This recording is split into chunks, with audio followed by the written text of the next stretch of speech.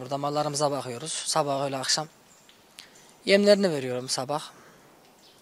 Sabah yemi verdikten sonra böyle bir kemanla böyle bir bütün ahırı dolanıyorum.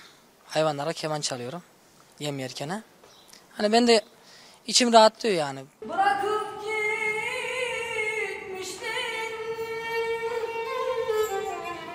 Bir anda gelişti. Böyle hayvanlara yem dökerken dedim şöyle bir çalsak da keman çalsak da dinleseler ne olur diye çok merak ettim. Batarken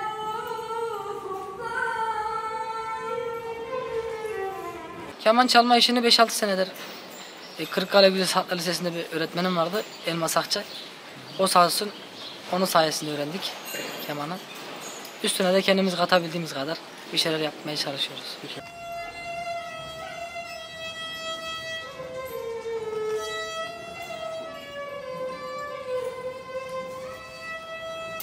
Hayvanlara bir senedir keman çalıyorum.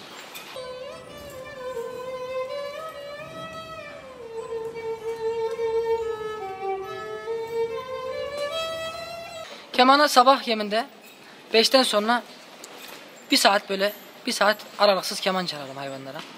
Böyle 5-6 makam, 5-6 tane şarkı böyle güzel olacak şekilde. Bir yudum Kendim solistik de yapıyorum. Ekstradan bağlama da çalıyorum.